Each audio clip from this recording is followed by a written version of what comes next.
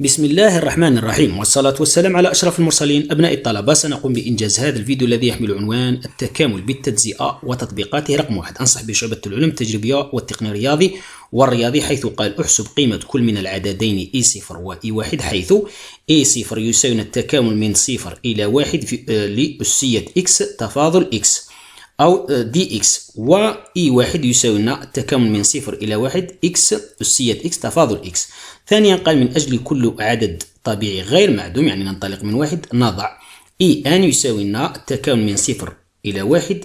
إكس قوة أن في أسية إكس تفاضل إكس قال ألف أوجد باستعمال المكاملة بالتجزئة. علاقة بين إي أن وإي أن زائد واحد. ثم بعدها قال با استنتج قيمة إي ثلاثة. إذا ننطلق على بركة الله في الحل المفصل. إذا نأتي الآن أبنائي الإجابة على السؤال الأول. قلنا قال أحسب قيمة كل من العددين إي صفر وإي واحد حيث قلنا إي صفر يساوي لنا التكامل من صفر إلى واحد لأسية إكس دي إكس يعني تفاضل إكس. إذا نكتب هنا أبنائي أولا حساب إي صفر. لاحظوا جيدا هنا أبنائي إذا هذا التكامل الأول هذا. إذا ماذا يمكن أن نقول؟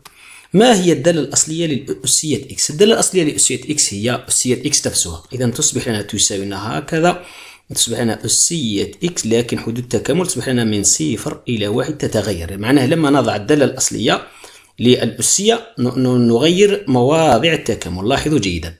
إذا الدالة الأسية هذه هذه فقط ليس أسية إكس دالتها الأصلية هي أسية إكس أما التي تكون مكتوبة من الشكل أسية آ إكس هذه هي دالتها الأصلية ليست تساوي أعذروني.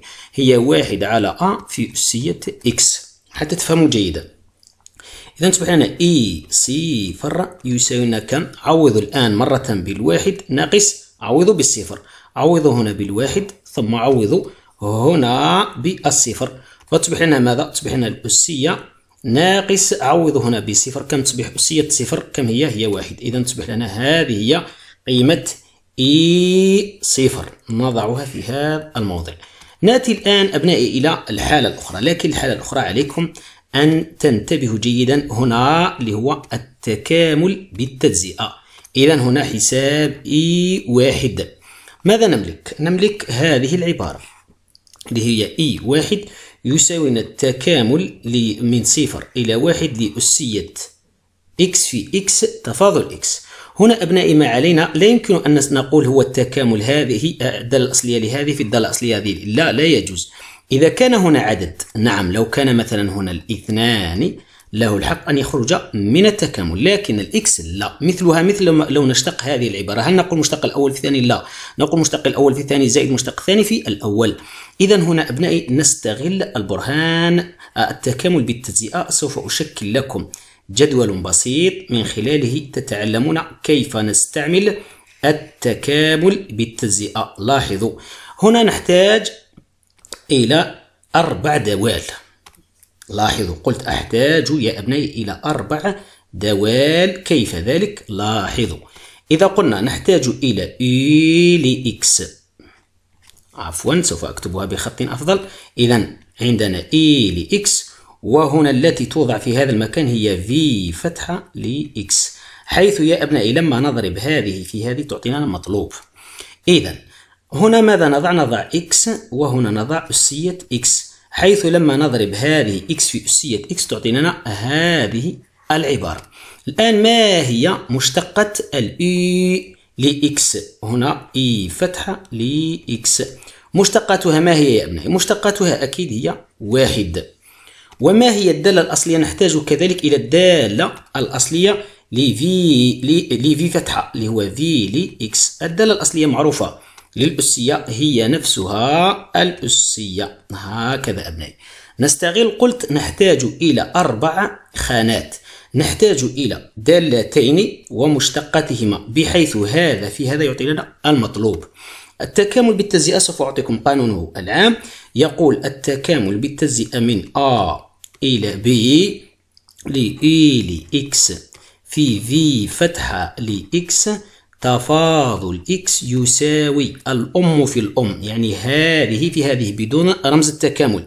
يعني إي لإكس في في لإكس تابعوا جيدا. هكذا من أ إلى ب ناقص التي تبقى لنا اللي هي هذه في هذه. حتى تفهموا جيدا إلى قانون التكامل بالتجزئة. من A إلى B لمن؟ لفي لإكس في اي فتحة لإكس تفاضل إكس. هذا هو قانون يا أبنائي الذي عليكم أن تحفظوه. إذا تعالوا نطبق يا أبنائي. تصبح لنا إي واحد يساوي إي واحد. إذا قلنا يصبح التكامل هذا في هذا اللي هو المطلوب اللي هو التكامل من صفر إلى واحد لإكس في أسية إكس تفاضل إكس يساوي الأم في الأم. هذا في هذا. اللي هو الأم يعني لما نقول الأم يعني لا نقصد المشتقة تصبح لنا من ماذا؟ إكس أسية إكس من صفر إلى واحد ناقص التكامل لهذا في هذا. إذا تصبح لنا واحد في أسية إكس تفاضل إكس من صفر إلى واحد. لكن هذا لو تلاحظ معي هذه القيمة ألم نحسبها هي هذه؟ انظروا. أليس هذه هي هذه؟ نعم قد حسبناها ها هي أمامكم. كم؟ إنها الأسية. ناقص واحد. تصبح لنا ماذا؟ تصبح لنا إي واحد يساوي عوض الآن هنا بالواحد وهنا بالواحد. لما نعوض ماذا تصبح لنا؟ تصبح لنا الأسية في هنا لما نعوض واحد وواحد تصبح لنا واحد في أسية واحد. ناقص عوض الآن هنا بالصفر فيذهب هذا كليا إلى الصفر ناقص التكامل. هذا قد حسبناه يا أبنائي. ها هو قيمته. ما هي قيمته؟ اللي هي أسية ناقص واحد. فتصبح لنا إي واحد يساوي دقيقوا يساوي الأسية ناقص الأسية زائد واحد. فيذهب هذا مع هذا فنجد أنه إي واحد يساوي لنا كم؟ يساوي لنا واحد فقط يا أبنائي. بعدما أنهينا مع هذا الجزء سوف نتطرق الآن إلى الجزء الآخر. نتابع سوف نأخذ معنا هذا الجدول لأن سوف نحتاجه لأن السؤال كذلك متعلق بالتكامل بالتجزئة. إذا نضعه هنا. لاحظوا ماذا قال. قال من أجل كل عدد طبيعي غير معدوم عندنا إي أن يساوي التكامل من صفر إلى واحد في إكس قوة أن في أسية إكس تفاضل إكس قال أوجد باستعمال المكاملة بالتجزئة مثل الأول. علاقة ما بين إي أن وإي أن زائد واحد. إذا نكتب هنا إيجاد علاقة بين إي أن وإي أن زائد واحد. تابعوا جيدا هنا أبنائي. أولا نأتي إلى إي أن إي أن نحن نملك قيمته. ها هي قيمته. تابعوا. ها هي قيمته كاملة. إذا هذه الإي أن لو نأتي الآن إلى إي أن زائد واحد. إي أن زائد واحد أكيد سوف يصبح لنا إي. أن زائد واحد يساوي لنا التكامل من صفر إلى واحد لإكس قوة أن زائد واحد في أسية إكس تفاضل إكس. يعني مثلما أضيف هنا الواحد نضيف هنا الواحد. ما رأيكم الآن أبنائي لو نحسب هذا التكامل لإيجاد ذلك العلاقة؟ ركزوا. هنا لو نضع الإي ما هي؟ لو نضع إي هي إكس قوة أن زائد واحد. ونضع أسية إكس هنا. لاحظوا جيدا. ما هي مشتقة إكس قوة آن زائد واحد؟ هذه مشتقتها ما هي؟ هي أن القوة تنزل إلى هنا. تصبح لنا آن زائد واحد في إكس قوة آن نعم يعني مثل إكس مثلا مربع. مشتقاتها ما هي؟ أنه هذا ينزل. تصبح لنا اثنان في إكس وننقص درجة. بعدما كانت اثنان تصبح لنا واحد. لو كانت ثلاثة لأنزلنا الثلاثة هنا وقلنا إكس مربع. فتصبح لنا ماذا؟ تصبح لنا هكذا آن زائد واحد مشتقاتها في إكس قوة آن ما هي الدالة الأصلية لأسية إكس؟ قلنا هي نفسها أسية إكس تعالوا الآن أبنائي ننطلق في عملية التعويض فتصبح لنا ماذا؟ فتصبح لنا إي آن زائد واحد يساوي لنا التكامل قلنا من ماذا؟ قبل أن نتحدث عن التكامل قلنا يساوي لنا الأم في الأم اللي هو هذا في هذا مثلما نطبق هنا قواعده بحذافيرها. التكامل هنا من صفر إلى واحد كما من هنا من أ إلى ب.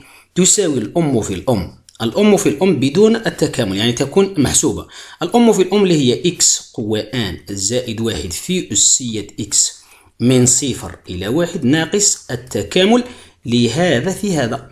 هذا في هذا ما هو اللي هو آن زائد واحد في إكس قوة آن في أسية إكس تفاضل إكس من صفر إلى واحد حدود التكامل. لم أفعل شيء. دققوا أرجوكم حتى تعلموا. لكن عندنا هذا ثابت. لا يوجد فيه الإكس له الحق أن يخرج من التكامل. فتصبح لنا إي آن زائد واحد تساوي إكس قوة آن زائد واحد في أسية إكس من صفر إلى واحد ناقص آن زائد واحد له الحق أن يخرج من التكامل لأنه عدد من صفر إلى واحد في إكس تكامل إكس قوة آن في أسية عفوا في أسية إكس تفاضل إكس. دققوا أرجوكم. ألا تلاحظون يا أبنائي أن هذه القيمة هي نفسها إي آن نعم إنها إي آن ها هي ظهرت علاقة بينهم. إذا تصبح لنا إي آن زائد واحد. تعالوا الآن نعوض هنا بالواحد هنا بالواحد وهنا بالواحد. فتصبح لنا ماذا؟ إكس قوة آن واحد قوة آن زائد واحد. واحد قوة آن زائد واحد يبقى لنا هو الواحد. في تصبح لنا الأسية يعني عوضوا هنا. عوضوا هنا بواحد. تصبح لنا واحد قوة أن زائد واحد. معنى هي واحد.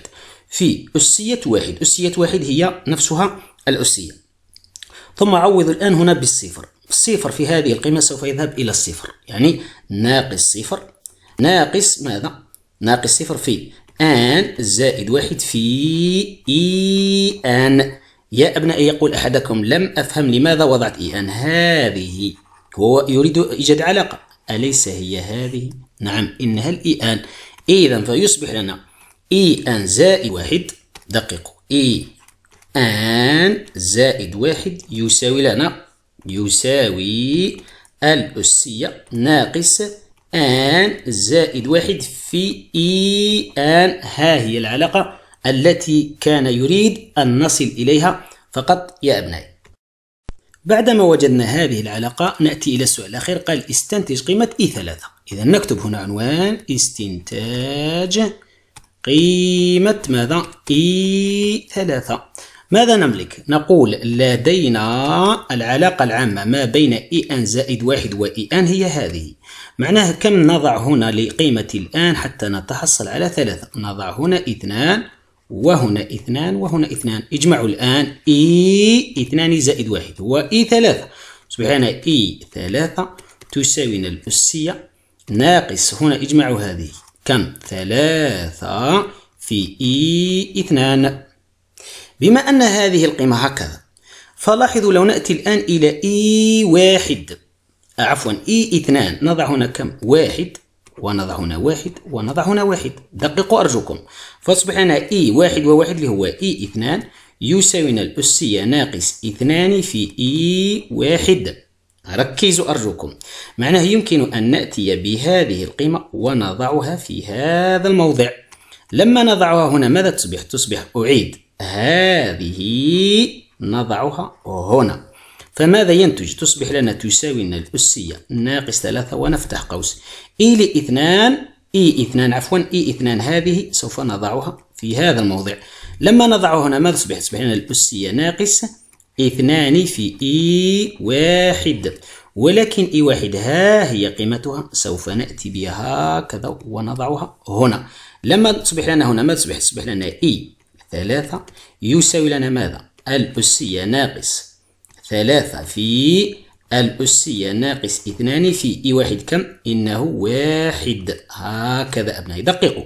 لأن ماذا؟ لأن هذه الخاصية التي وجدناها هي التي توفر لنا. مثلا إي 11 ماذا تساوي؟ إي 11 تساوي الأسية ناقص آن زائد واحد اللي هو هنا. يعني هنا كم نضع الآن حتى نتحصل على 11 10 تصبح لنا إي 11 يساوي الأسية ناقص 11 هنا آن في إي 10 يعني لأن هنا وضعنا كم؟ وضع وأصبحت 11 وهنا 11 وهنا كم تكون؟ تكون 10 إذا بما أن هنا كان الاثنان فهنا يكون ماذا؟ يكون الواحد.